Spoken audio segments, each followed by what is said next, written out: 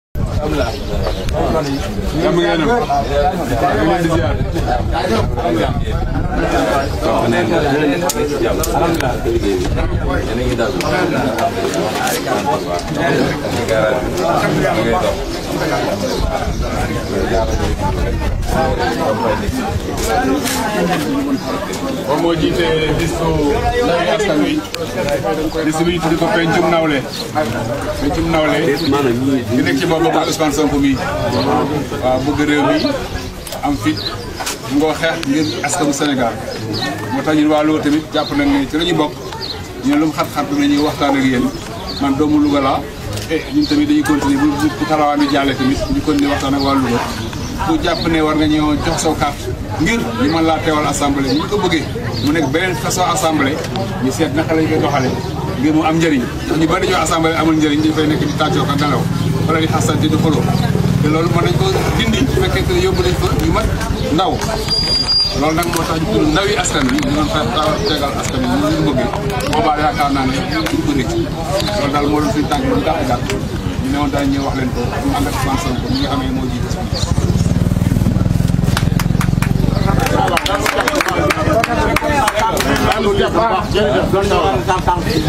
ah d'accord dégg nga dégg nga lu ma dégg daal grand. kontaan nañ ci waa ji Sonko bi. parce que mi ngi ñuy yee. en tant que inspecteur des domaines. mbóor yi nëbbu ci biir Dakar. ñun ñu koy wax ci xamuñu ko ñun ay si war a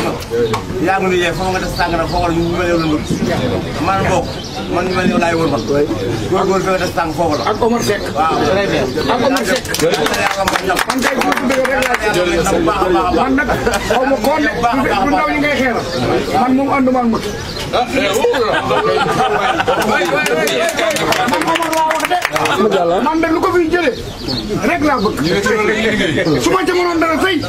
gis naa seen tuwaay na faale ba dëgg ak man. waaye nag ku ko koy jéem a jëlee wala ngay xeex. ànd na ma ak yow.